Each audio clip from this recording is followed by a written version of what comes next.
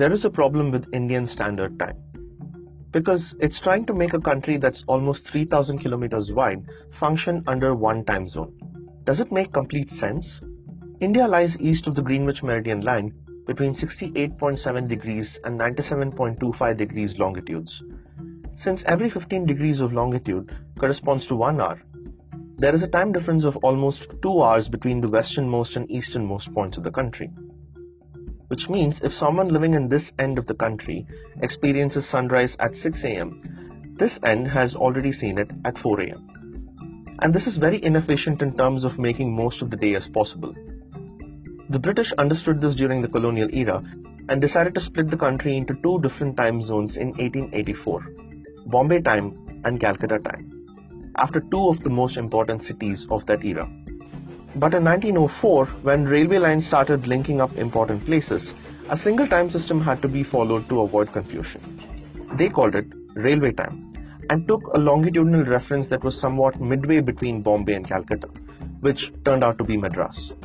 But the difference between GMT and Indian Railway time was considered imperfect. There was a pressing need to make Indian time ahead of GMT by exactly five and a half hours.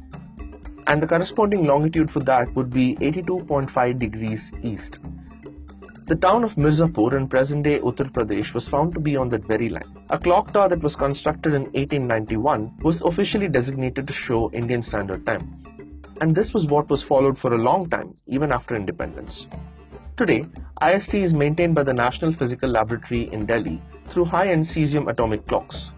But it has still not solved the problem of differing daylight zones in the country, especially in the northeastern states, where a good number of daylight hours are wasted because of sticking to IST.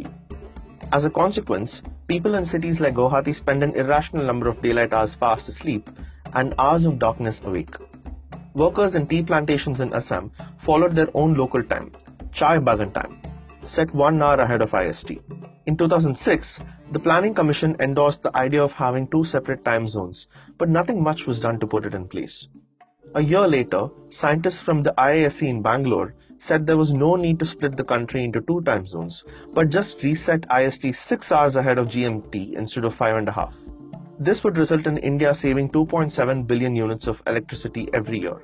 That did not take off either. There are other fears about multiple time zones, like confusion and ambiguity in travel schedules. But we only need to look at the US where airlines and railways function perfectly within four different time zones. Closer home though, China, which stretches more than 3,500 kilometers end to end, has only one time zone with an aim of fostering national unity. For now, there does not seem to be any decision from the Indian government in solving the crisis of time between two parts of the country which means all of our watches and clocks will keep ticking to IST for a long time to come.